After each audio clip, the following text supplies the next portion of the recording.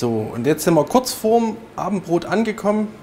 Und jetzt kommen noch die Bratwürstchen in die Pfanne und dann können wir anrichten.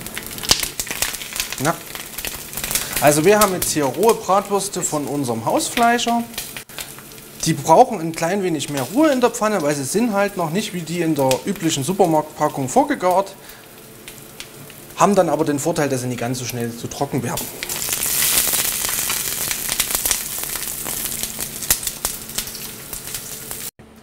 Fangen wir an mit dem Eindecken unserer Neunerlei-Tafel.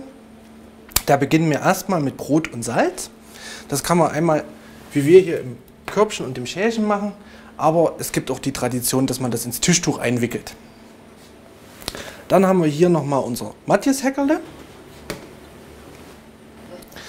Dann haben wir hier unseren rote Beete-Salat. Dann haben wir unsere Linsensuppe. Jetzt das, was zusammengehört. Der Kartoffelsalat, die Bratwurst und das Sauerkraut.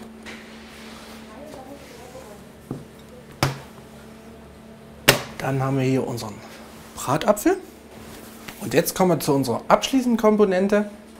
Die haben wir vorhin rausgelassen, weil es einfach nur Brötchen schneiden ist. Aber das ist ein sehr bodenständiges Essen, weil es ist eigentlich nur Brötchen mit Brötchen übergossene Milch. In dem Fall sind es süße Brötchen und dazu Nüsse. Was wir dann als Semmelmilch bezeichnen, was uns an unsere Wurzeln erinnern soll und auch an der Armgedenken. Ich wünsche Ihnen viel Freude beim Nachkochen unseres Kreuztan Neunerleis und beim Essen.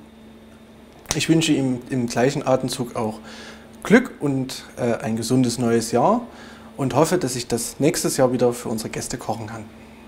Alle Gastgeber und Rezepte unter www.topfgucker-tv.de